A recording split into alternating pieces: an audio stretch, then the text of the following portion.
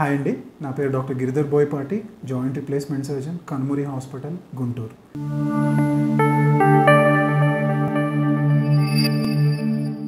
మనం రొటీన్గా చూసే ప్రాబ్లమ్స్లో ఒకటి యాంకిల్ స్ప్రెయిన్ అంటాము.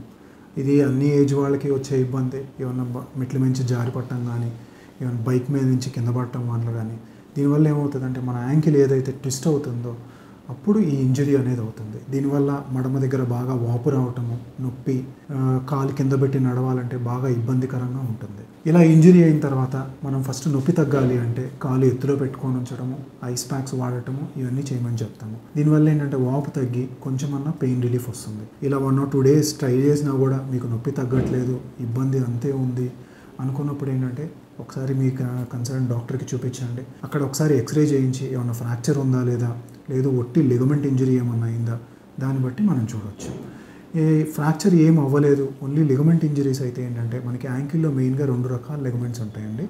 అది లోపల వైపు ఉండే లిగమెంట్ ఒకటి బయట వైపు ఉండే లిగమెంట్ ఒకటి.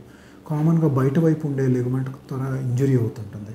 ఇలా ఈ లిగమెంట్ ఇంజరీ అయినప్పుడు ఏంటంటే తొంభై ఎనిమిది శాతం మందికి సర్జరీ చేయాల్సిన అవసరం ఏం పడదు. వాళ్ళకి ఏంటంటే బెడ్ రెస్ట్ ఒకటి ఆ కాలు మీద బరువేయకుండా నడవటం ఒకటి అలాంటివి చేయగలిగితే ఆ లిగమెంట్ త్వరగా హీల్ అవుతుంది. కొంచెం మందికి ఏంటంటే పిండి కట్టేస్తాము. దానివల్ల కూడా యాంకిల్ రెస్ట్ దొరుకుతుంది. దానివల్ల ఆ లిగమెంట్ హీల్ అవుతుంది. ఓన్లీ చాలా తక్కువ మందిలో వన్ ఆర్ టూ పర్సెంట్ మందిలో మాత్రమే కంప్లీట్ టేర్ అయిపోయి జాయింట్ అన్స్టేబుల్గా ఉంది లూజ్గా ఉంది అనుకున్నప్పుడు మాత్రమే సర్జరీ అవసరం పడుతుంది. లేదు ఎక్స్రేలో ఉన్న ఫ్రాక్చర్ ఉన్నాయి? దానిలో మనం medial malleolus lateral malleolus fractures అంటాము. ఈ ఫ్రాక్చర్స్ ఏమైనా ఉన్నట్లయితే వాటికి సర్జరీ కానీ పిండి కట్టు కానీ అవసరం పడుతుంది.